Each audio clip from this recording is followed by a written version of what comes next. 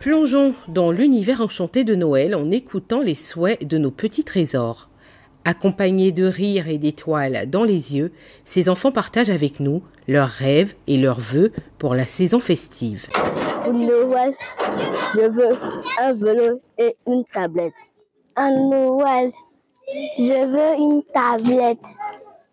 Noël, je voudrais une tablette éducative et une trottinette. La tablette éducative pour apprendre de nouveaux mots et la trottinette pour jouer. Je veux avoir une corde à sauter parce que j'adore le sport. Pour Noël, je voudrais une tablette portable pour m'aider à faire des recherches à l'école ou bien pendant classe et, peut-être être premier. Ben, un cadeau qui est offert à un enfant, c'est un message qu'on lui envoie.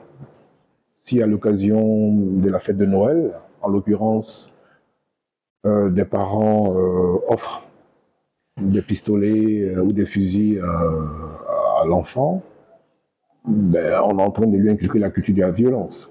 Donc à la base, c'est important que les parents réfléchissent bien aux cadeaux qu'ils offrent aux enfants.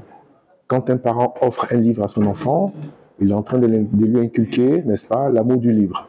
Ce qui est vraiment très très intéressant dans la structuration de l'enfant. La nouvelle est une opportunité pour des familles d'exprimer la solidarité entre les membres de la famille, l'affection, la bienveillance qu'on a les uns pour les autres.